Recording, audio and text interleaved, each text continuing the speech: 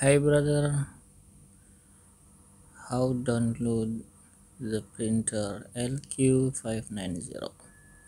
Okay, go to PC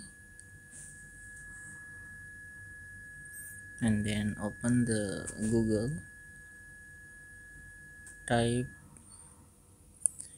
download Epson LQ590. This website, Epson Middle East.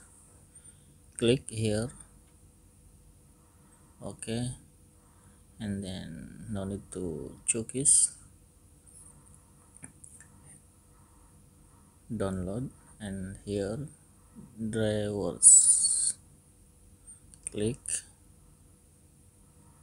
Okay, and then go to download.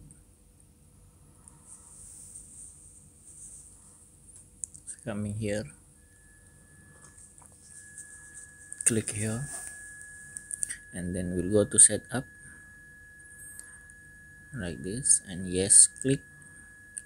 Setup. See? It's already download. Okay. And then click to default. Okay. And then agree. Click here okay. Uh, this is manual because we don't have a USB cable so by manual. So here USB USB virtual printer. Okay. And port configuration will completed successfully. Okay bro. Finish. Thank you so much bye bye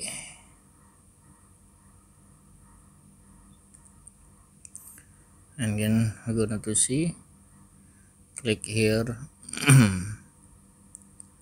to control panel. And then we go to device and printer. Here devices and printer. Click here.